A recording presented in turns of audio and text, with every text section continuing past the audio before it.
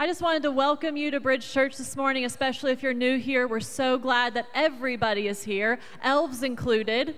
Very excited about the elves being here today. So, we are going to get things started. We've got an Elf on the Shelf contest today, and immediately following that, we've got our beautiful children to come up and sing a couple songs, and then service as normal after that. So we've got a lot of exciting stuff happening today, and we are so, so glad that you guys are here. So we are going to go ahead and possibly, maybe, get started on our Elf on the Shelf contest. Um, we are going to watch each elf come across the stage and be presented to our judges on the front row.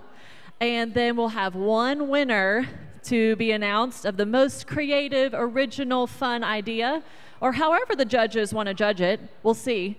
And um, we're really excited. So thank you guys so much for being here. We are, I think, ready to go. So here we go.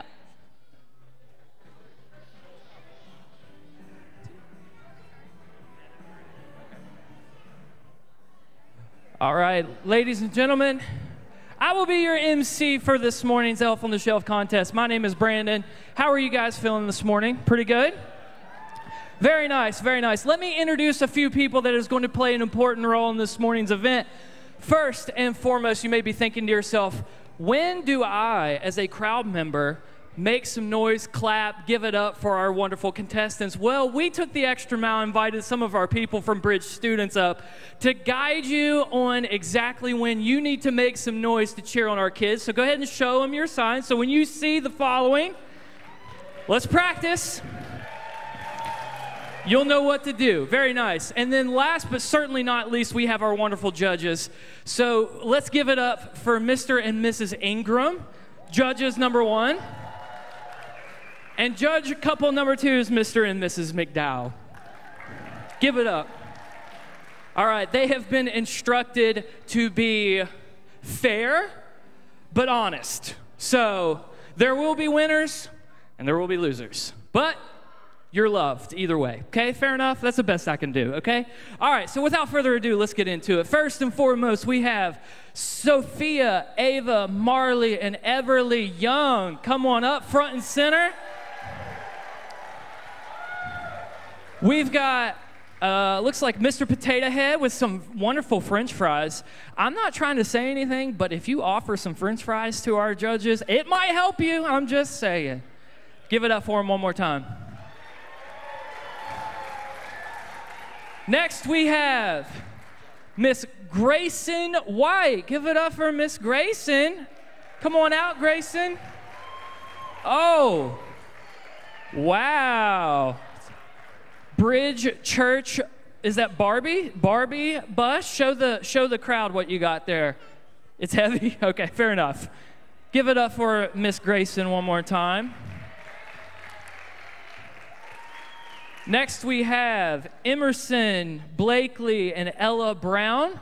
Come on out, guys. Give give it up. Matching outfits. Show, show the people your wonderful elf on the shelf. Make sure you show these four right here. These are your judges. So, very, very nice. Good job. You guys can go ahead over. Next, we have Kendall and Harrison Lawrence. Give it up for them. Oh, Barbie sports car. Hello. Very nice, very nice. All right, you guys are good. Good job. Next, we have Ruby Brockman. Give it up for Ruby. She is in her Elf on the Shelf era, if you will. Don't if you guys know who this is, Taylor Swift. She's kind of a big deal these days. Very nicely done. All right, you can go ahead. That's that's good. Next, we have Miss Sydney Davis. Give it up for Sydney. Oh, and little sister, I believe, has joined. Very nice. Come on out, guys. We've got, is that Barbie suitcase? I think. I don't know. Okay, very good. Very good. Very good.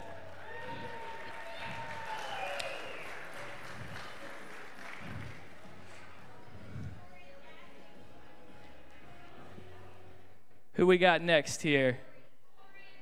Tori and Jack, come on out, guys. Tori and Jack Sigley got their elf on the shelf wagon going. I like it. Ooh, look at the snowman. Very nice, very nice. You guys can head on over. Next, we have Miss Lyric Schaefer. She has all of the four food groups, according to Buddy the Elf there candy, candy canes, syrup, and candy corn. Very good. Next, we have Asher and Ainsley Hale. Give it up for Asher and Ainsley. Look at this. Buzz, Woody, Barbie. I mean, you got everything you could pop. Roblox? Like, come on. That's all you could ever need. Good job. Good job, guys. Very nice. Next, we have Josie Legg bringing the one and only most beautiful elf of the day. Look at that.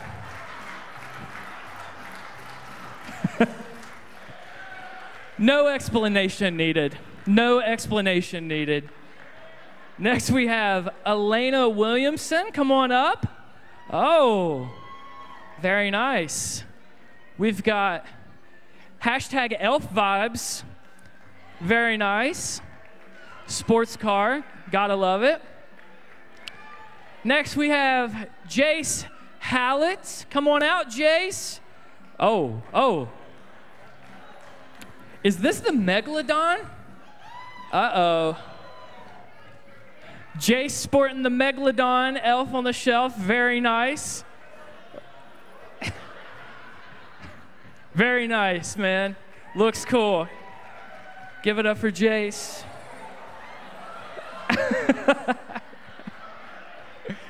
Next, we have Lydia and Livia uh, Jones. Give it up for the Jones squad. We've got all kinds. Oh, okay. That is, I don't need, oh, very nicely done. Next, we have Miss Kennedy Lake. Give it up for Miss Kennedy. With the uh, Lego dump truck, I'm pretty sure that has to be assembled before you can use it, right? The Lego set? Yeah, so that didn't come out of the box like that. She had to build it. Very nice. Very nicely done. Next, we have Miss Aviana Kessler. Give it up for Aviana with the, what is that, Barbie sports car? What is it? Oh, okay. I'm not, I, it's a pink car. Give it up. I don't know. I'm sorry. And then last but certainly not least, we have Meadow Gray. Give it up. Oh, very nice. Hot air balloon vibe. Okay, I like that. It's from the movie Up. You know, with the balloons and very nice. I like it. Very good. I believe that is it, right? All right, give it up one more time for all of our contestants. All right. Judges, without further ado, it is your time to shine. You can consult amongst yourselves for a couple of minutes. And while you guys do that, I will be telling the rest of the crowd what is up for grabs this morning. Because the winner that is crowned. Did everybody get a french fry? Yeah. We, um, while they consult, let me explain what the winner is going home with. Winner of today's contest is going home with a free putt putt session from Reed's Entertainment across the uh, Liberty Square. They hooked us up with some free mini golf sessions for not only the winner but the whole family. So they will be able to get their mini golf on. Our judges are consulting. We will give them just a few more moments here and then we will crown our winner.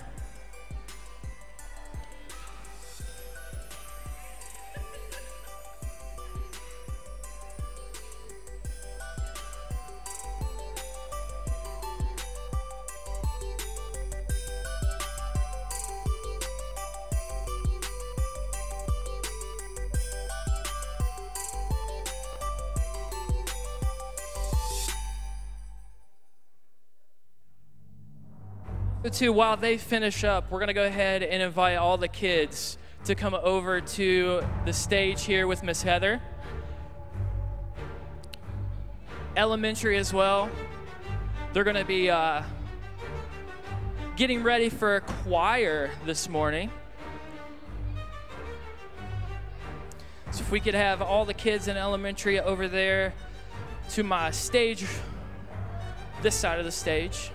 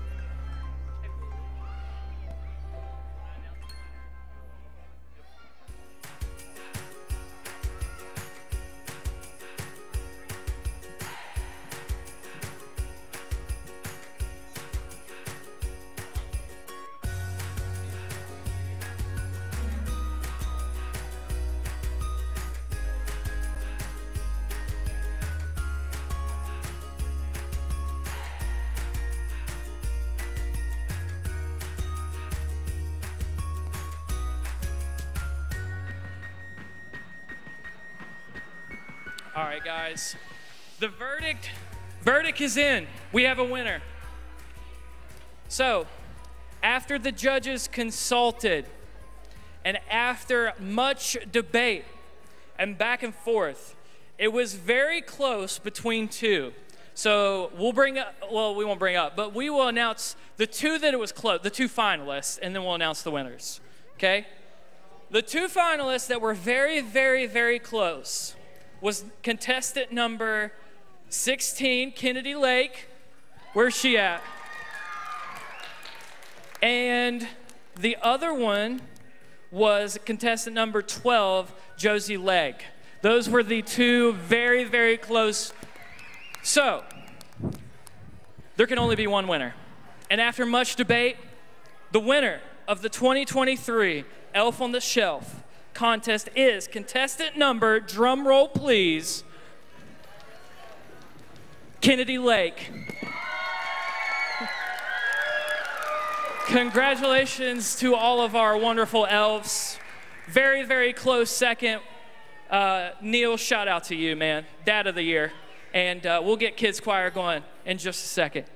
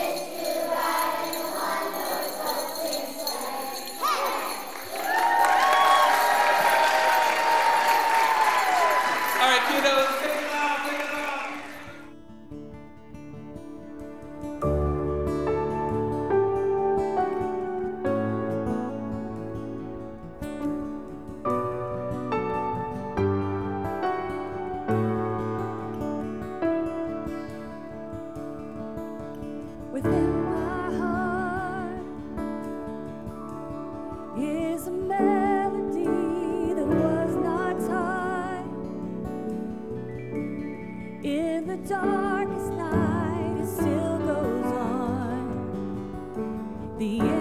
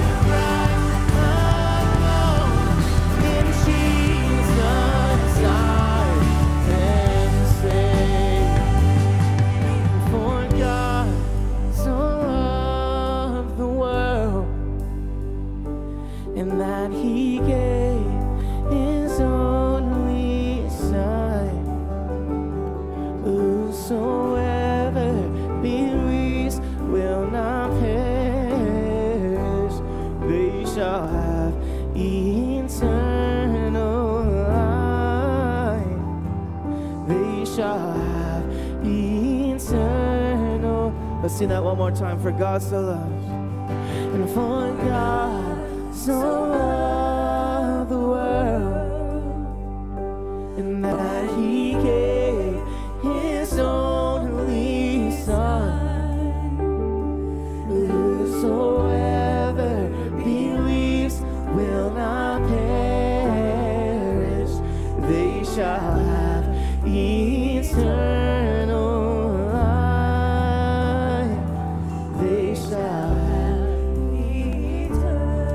sing that one more time today, just the voices. Say this together. And for God so loved the world that he gave his only son, that whosoever believes will not perish.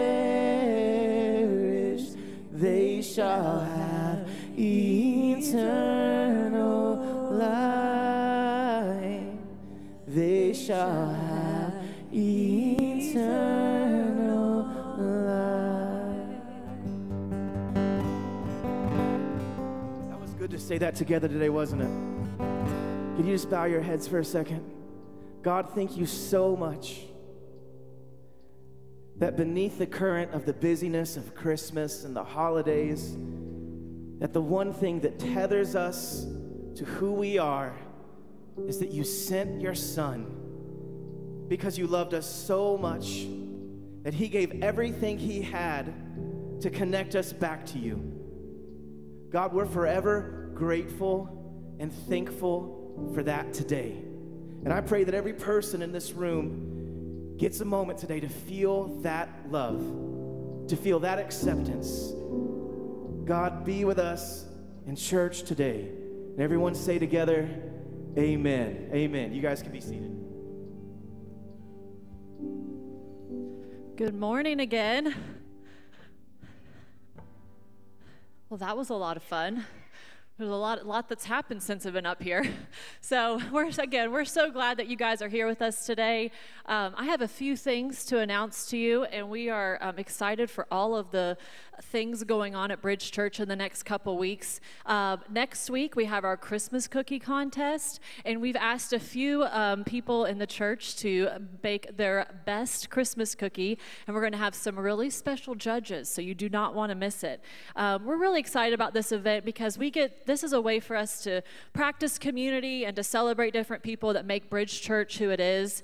And we um, all love to have a good Christmas cookie recipe, and we will have those recipes for you to hand out at the end of service next week. So, all the people that enter their um, cookies will also provide their recipes, unless it's like a super big family secret, and then we will not be given those recipes, maybe. but hopefully, everyone will be able to provide those. And then the next exciting thing is Christmas Eve service. And so, we will not be having service that morning on Sunday, the 24th. We will just be having our 5 p.m. service, and all of the festivities kick off at 4:30. And um, we're very excited to open the doors to our uh, of our church to invite the community in for our Christmas Eve service. It's a way that we can be hospitable to the world around us by inviting them to come and be with us in the celebration of Jesus coming to our world and having a big party um, with lots of fun and meaning for the Christmas season. And so we invite all of you all to come and be a part of that in two weeks. Can't believe it's two weeks. Um, and we're really excited about that. We're so excited that you guys are here, and we're going to kick it off to Mr. Matt now I want to invite you to this Christmas Eve is a big deal around us for a lot of reasons. And one of those reasons is we believe that there is this ultimate reality in which you and I are constantly being changed. And sometimes it happens in a moment, and sometimes it happens over the lifetime. God gets to do what he wants. But we believe Christmas Eve is an opportunity. It is a, it is a space, it is an opportunity for people who are considering who Jesus is to give him a shot. And so I want to ask for your help in inviting people to fill up our Christmas Eve service. Why? Because real people need real hope that's only available through the real Jesus this season. And so we're going to give you a way to do that. There are going to be cards at the end of service today and next week. There will be beautiful people all around, speak, sprinkled by these doors, to hand you a card that you can use as a simple invite. So I would invite you, even if you don't feel the gumption to do it yet, take it in faith consider it and pray who is someone in my circle family work friends neighbors that i can hand a invite card to come back for christmas eve this season? Would you be an inviter this christmas season? Would you be an inviter? Yeah let's do it together guys. So with that said now begins our hour long message at 1120 just kidding. Everybody take a big breath all right. And we'll put a picture of two doors behind me. Here are two doors that are in front of you right now. And today, whether you know it or not, you are stepping towards and possibly through one of these doors. And go on this imaginative exercise with me. It's actually no mystery what's behind each door. Two doors leading to two very different futures. Behind the first door is a future full of anger, future full of hostility, of bitterness, of up and down relationships, of resentment and vengeance and compounding hurt and frustration and rumination. And over the course of time, to step through this door over and over again feels like being stuck and all twisted and knotted up on the inside. But there's another door. Behind the second door is a different kind of future. It's one of freedom, it's one of peace. It's full of relational up and downs, but it has some hope in there. It's full of honesty and humility, of healing all at once and over the course of the lifetime, your lifetime. It's full of some relational repairs. And over the course of time, there's more wholeness, not less. And there's internal freedom with space to exist and be present. The second door stands in stark contrast to the first door. And imagine with me in your mind's eye that above that first door, a sign appears. And above that first door, with a future full of, of bitterness and resentment and rumination and vengeance and all those negative things we named, is a simple title, simple word called unforgiveness. And above the second door is a word called forgiveness. Keep that in your mind's eye for a moment and catch this about myself. I've never really thought of myself as an angry person. I always thought of myself as very easygoing, and for most of my life, if you were to ask me who were my enemies, I would have had a hard time naming any names. But as I've gotten older and life and its relationships get more complicated and new kinds of pressure and stress come with this thing called life and apprenticeship with Jesus, I felt myself walking through door number one more often than I'd prefer. Like you, like our community together, we are on a journey, a journey of forgiveness. And here's what I know that you and I, we live in a hurting world, and we are hurting people. To hurt or to hurt one another, that is natural and it is all too normal. But to forgive, that's supernatural. Really, it's miraculous. It's a taste of heaven on earth, and it's a taste of the coming future reality of God's new creation washing into this one.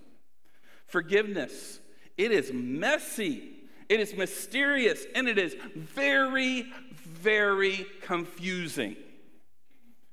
And it's a journey that doesn't have to be traveled alone. God is your companion. In fact, the basis of forgiveness is God Himself. God invented forgiveness. The prophet Micah spoke of God this way when he uttered these profound words very poetically. He said, Who is a God like you? Who pardons sin and forgives the transgression of the remnant of his inheritance. You do not stay angry forever, but delight to show mercy. You will again have compassion on us, and you will tread our sins underfoot and hurl all our iniquities into the depths of the sea. Can you picture that imagery? How beautiful. The basis of forgiveness is God Himself. But God not only invented forgiveness, you know, He is forgiveness. Jesus is our forgiveness. He gave His very life. We sang about it this morning as a sacrifice for our ultimate forgiveness. And He lived His life in a way that can serve as a model for us to follow when it comes to this area of door number one a future full of resentment, bitterness, anger, and internal toxins that have no way of escaping but to pollute you, or forgiveness wholeness, peace, maybe reconciliation where appropriate. Jesus taught us to pray something pretty specific.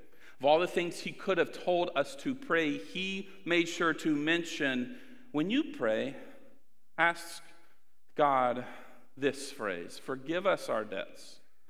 Us, us. It's a communal act. Forgive us our debts as we forgive the debts of others. Dallas Willard, one of my heroes, it's been a few weeks, so I throw in a little Willard this morning. He said that the most important thing that God gets out of your life is not what you do, but it is who you are becoming. Door number one is that shaping who you are becoming, or is it door number two? Or let's not set it up as if we don't step through both over the course of our lifetimes. That is the question that shapes everything. Who are you becoming? Who are you becoming? When it comes to these doors, which do you find yourself stepping through? So here's the basis of where we're going for a few minutes today and then next Sunday. I want to talk about the two doors. These two doors with two very different futures called unforgiveness and forgiveness. And again, remember, to hurt, that's normal. To be hurt and to hurt others, that is normal. But to forgive, it's miraculous. It's heaven on earth stuff. And listen, let's be honest for a second. You may have walked in here today under the surface or maybe on the surface, and you think it's beneath the surface, whatever's going on. You may be an unforgiving mess today. But can I tell you, this is not a message of condemnation. This is a message that says this God's not after your perfection in this journey, He's just after your heart. He's not after get it right every time, He's after you and let Him mold you and shape you and change you into a becoming a forgiving person over the course of your lifetime. Because you know in your head that's what He offered you, but is it shaping who you're becoming from the inside out? He loves you exactly as you are right now. But he also loves you and I to invite you into more, to better, to different. And with God's help this morning, however you came in, you can change. You can heal. You can be set free. You can stop patterns and generations and cycles and ups and downs. You can stop those things, and you are valuable enough to walk that journey. You can be more whole. And yes, there are real steps you can take, but sometimes it starts not with putting steps of forgiveness into practice, it starts with a whole other journey and type of miracle. And it's this that oftentimes forgiveness is actually a journey of the healing of your unforgiveness rather than it is doing forgiveness. That's a profound statement. Oftentimes, your journey of forgiveness is more about the undoing and the healing of your unforgiveness rather than it is here's three steps to put forgiveness into your life. My favorite poems ever, I've brought this to you before, it fits here today so well. The African American poet Langston Hughes once wrote, I am so tired of waiting, aren't you? For the world to become good and beautiful and kind, let us take a knife and cut the world in two and see what worms are eating at the rind. this poem is not advocating for more division. We have enough of that. Instead, it's advocating for something very different for a look inward for looking inward, there is an invitation to you today and every day, particularly as we are naming it this Christmas season, to name some things in us and in the world that are destroying us from the inside. And can I say, unforgiveness, the healing of our unforgiveness, is one of those worms eating at the rind of our existence and at the rind of our world. Unforgiveness is like a disease that slowly slowly destroys us. Understandably, many of us get stuck in these patterns of unforgiveness. Why? Because we're hurt and you were wounded, and there's no excuse for it. And we're talking about some boundaries next week in that journey, but let's level. The question in your life is not if you'll be hurt, it's when and by who and to what degree. That's a good recipe for some unforgiveness to set in, isn't it? Hurt doesn't have to be your future, though. Why? Because healing is on offer. Healing is on offer. Forgiveness is on offer. And sometimes, again, it's about the healing of our unforgiveness. Next week, we're going to look at a research based, theologically sound kind of steps called the REACH method by a guy named Everett Worthington. Fantastic thinker, writer, author, psychologist, Christian thinker on this subject of how to put together forgive, how to walk the journey of forgiveness. But this week, I want to name a different counter cycle. There's actually a journey that leads to unforgiveness in the same way there's a journey that leads to forgiveness. And try this on with your life. You can think of the person that maybe is the aggressor. If they're sitting next to you, be very, very careful, okay? Um, here's the journey. Number one, phase one, it's transgression. Somebody does something to you. Somebody criticizes you, somebody rejects you, something posts, something, something passive aggressive, something on the face, whatever it is, there's a transgression at you directed towards you. So there's the offense, right? And then phase two, there's your perception. Everybody say perception. Perception of the offense. And this, my friends, is where it gets very, very tricky. Very tricky. Have you ever had one of those situations where you were deeply, like deeply, passionately, righteously offended by someone, only to find out it is not at all what they meant? Like, have you ever held on to something against someone for like maybe days, sometimes for years, and you finally go to talk to that person and like, dog, that is not at all what was in my heart. I'm sorry you came away. So perception is tricky. Can I just say this right off the top? And this isn't to minimize or victim shame or do any of those sort of things, but let's live at a different conversation today. Can we say that sometimes our perception of offenses may not be accurate to the actual offense coming against us?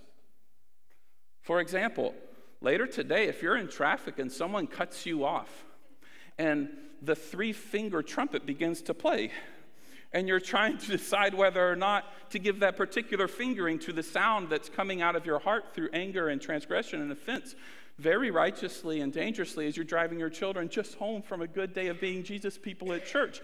What if, not speaking from any personal experience, um, what if, what if what you thought was a personal attack on your safety was just a literal mistake in a blind spot? And, yeah, I'm going to throw this in there. What if they were to pass you and then you just realized their license plate said Ohio on it and then it all made sense? So, like,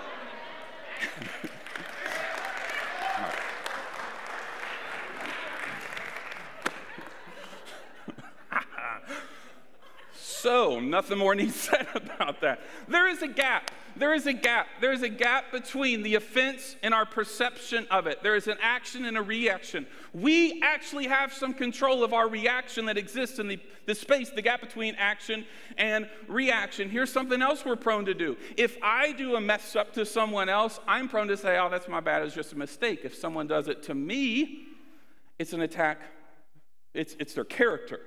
So they are. What I did is just a little circumstantial problem. What they did, it's a character flaw. So, so perception is really tricky. We are horrible, we are horrible, horrible perceivers. That's an area to work in. So, but here's the third transgression, perception may or may not match the intent. And the third is emotion. This is the journey towards unforgiveness. Anger, hurt, fear. These are all negative emotions, right? Right? They're negative emotions. But is anger unforgiveness? Not necessarily. Is fear unforgiveness? No, not, not at all. Is, is hurt unforgiveness? No, those are natural. God wired you with those things, right? They're, they're like a warning light on the dashboard of your nervous system and your, your soul to say, hey, something's up here, pay attention to it, and you have an opportunity. How will you host this towards forgiveness or towards unforgiveness over the course of your life. So I want you to see that transgression, perception, emotion, not unforgiveness. But here's where it gets tricky. He, Everett Worthington, names the fourth stage, and it's called rumination. I love that word. Can you say rumination? Rumination. Rumination is a way of reinforcing our bad perceptions. This is coming to me off the top of my brain. It's probably not appropriate. I'm going to say it, and you can offer forgiveness later. You know that scene in Austin Powers where there's the bigger guy, and he says, I'm unhappy because I eat, and I eat because I'm unhappy. That is rumination. It's this self, yes, Austin Powers just got brought into the church today. All right, um, elves were here. He's still sitting there, and it is blowing my mind. And um, rumination, rumination. It's this self perpetuating cycle. When I mess up towards a person, I don't tend to rehearse the story that made me bad towards them. When someone else's messes up towards me, we are prone to retelling, rehashing, distorting, dislodging, disintegrating ourselves by constantly telling that story. And how many of you know what started at a level one when you first started telling that story started gets to eventually over the course of lifetime a compounding effect of worse. It's like when a Ohio teenager takes that first test and we're giving them freedom to drive on the roads. And then 10 years later, they're going 40 miles per hour in a 60 mile per hour speed zone on the left hand lane. Rumination, I'm rehearsing these hatred of Ohio drivers. Rumination, it is not helpful. It's when we get stuck in retelling the story. And who often becomes the victim and who often becomes the villain in our ruminating of people? We lose the nuance of someone's just complexity and their humanity. And we become more and more self righteously elevated, and they become more and more dig- undignified. And over time, rumination usually and can often lead towards unforgiveness. So, what is unforgiveness? It's a blend of all of that. You have your own internal recipe of unforgiveness based on who you are, based on your story, based on your chemical makeup, based on the, the health of your soul, your feeling of belonging to God and f- experiencing His forgiveness and His acceptance, or not, the feeling of feeling safe among other people. There's a lot of things that go into that concoction that eventually leads towards unforgiveness. And let me tell you, unforgiveness isn't just a spiritual, abstract thing, it is something that lodges itself in your body at a neurochemical, muscular level. For example, if there's a person that you are ruminating about right now, don't look at them if they're in the room. Or if this has been in your past before Jesus healed you, we can give that church out as well. If you've experienced that and then all of a sudden their name comes to mind, or you hear their voice at work, or they make a post online and your body physically, neurologically goes, mm, it means unforgiveness is in your body. There's a lot of research on that. And here's my point your journey towards forgiveness will almost always start or contain or include the undoing of the cycle that we just named and the healing of the unforgiveness that's in your heart. And that sounds really obvious. Like, well, of course, the anti of forgiveness is unforgiveness. That's all you got today? Like, nicely done, Matt. Ohio, that was funny. I get it. Austin Powers, really, really smart to throw in there, whatever. But here's my question, guys. How often are you ruminating? What stories are filling your mind when it comes to people? And I don't mean those people, that's the easy one. I mean like the people you share life with. Is there honesty there? Is there unforgiveness towards the people God has put in your life to be the prime example and container refinement of your own experience of and practice of forgiveness? How are you ruminating? What stories are you rehearsing over and over again? And at its worst, you can truly be a victim. So I am not dismissing that. I just don't have time to nuance everything in that lane today. There are real victims in the room today. And there are not real victims in the room today. They're self created victims through rumination, where we perpetuate our own self righteousness, our own story, our own, we project our own hurts and our own needs onto other people. And there is something on offer to us, you and I and it is sits at the intersection of the forgiveness of God being offered to us and living in that over and over and over again and rehearsing who Jesus what Jesus has done for you rehearsing the fact that he forgives us the rehearsing the fact that he gets to close these gaps of our identity and our wholeness and our integration rehearsing that and then saying you know what I'm no better than this person who has done something to me.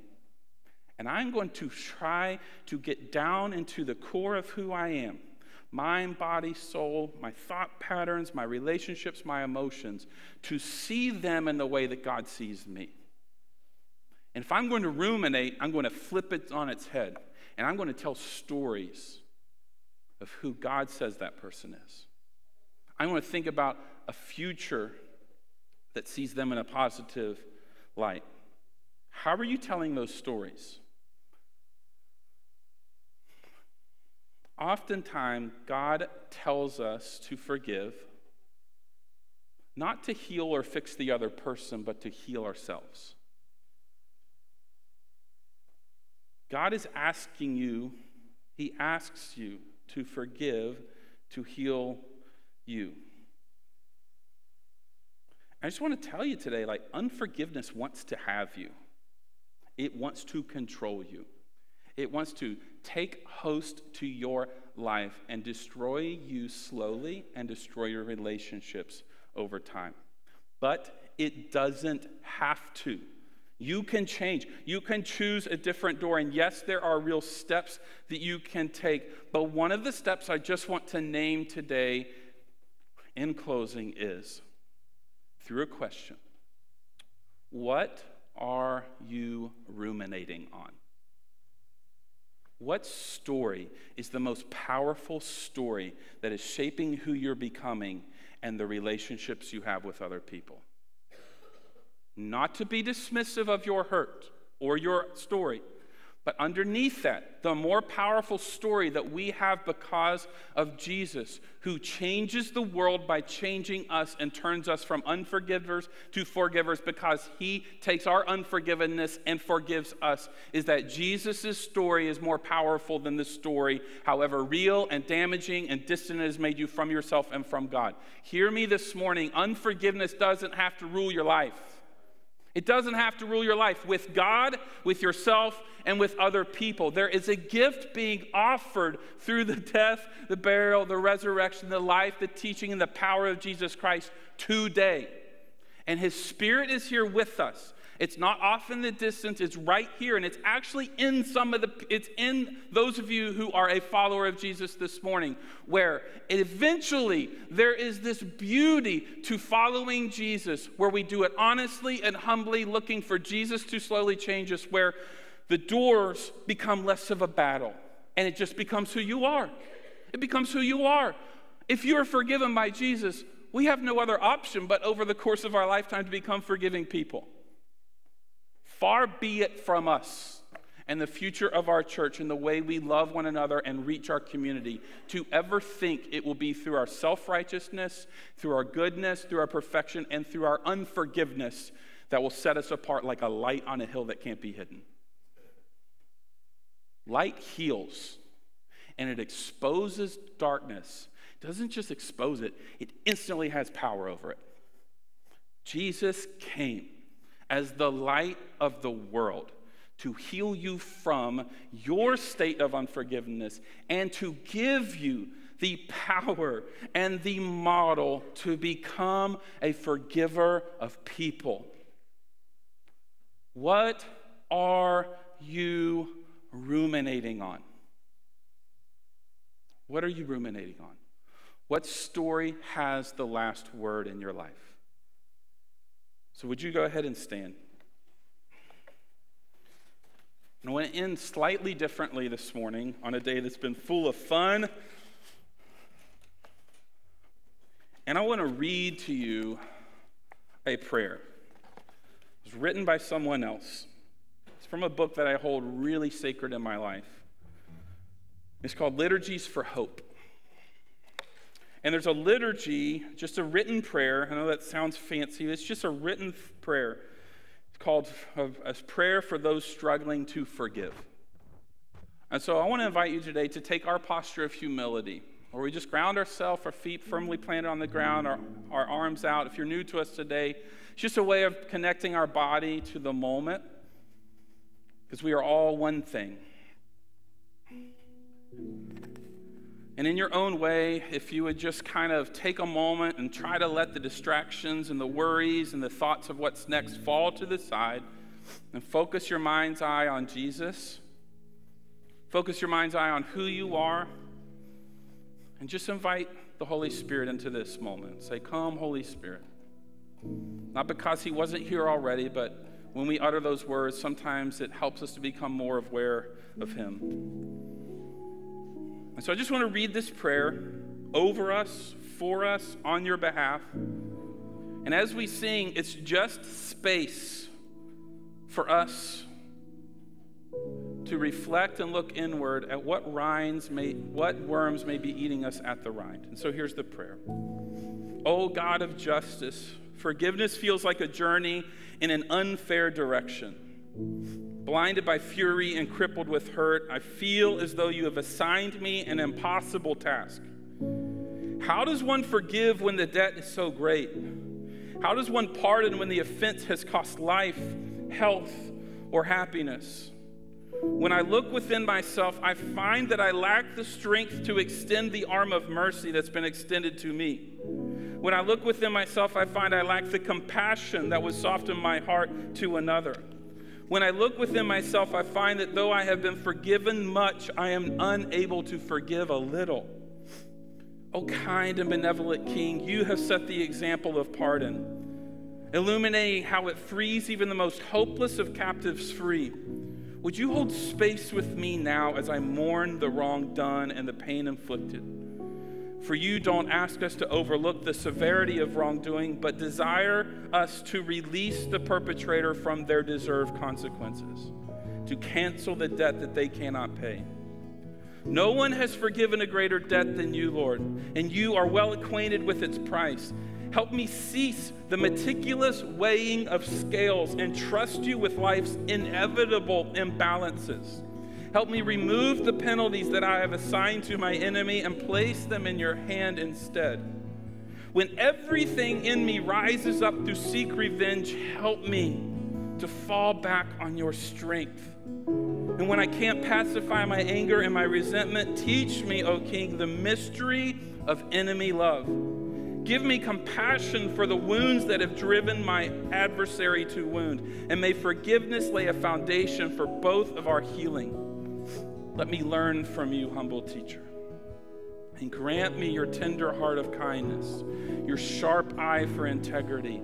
Justice and mercy are twin rivers that run straight from your heart, and forgiveness will flow from a soul that trusts in your sufficiency.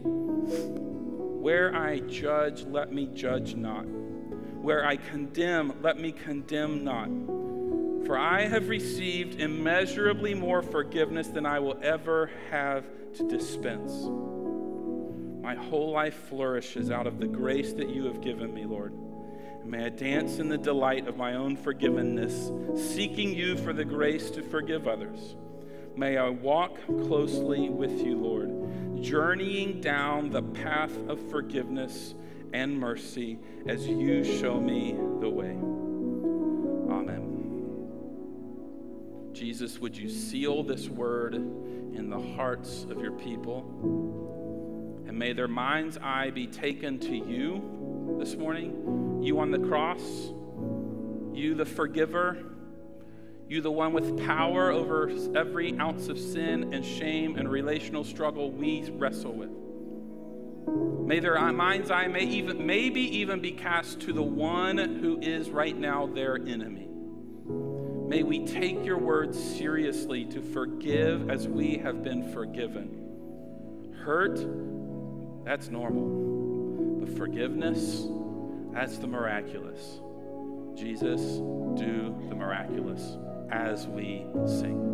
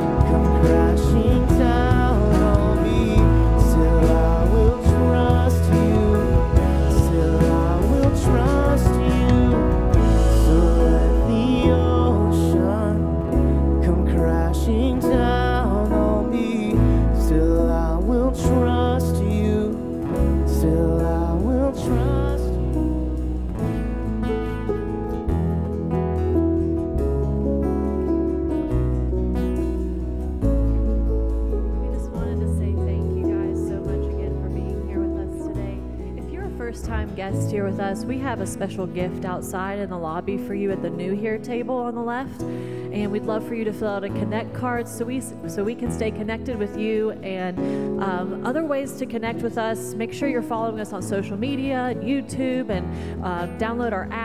And we're just so excited that you're here with us today. And don't forget to uh, grab your Christmas Eve cards, invitations to hand out to loved ones and friends.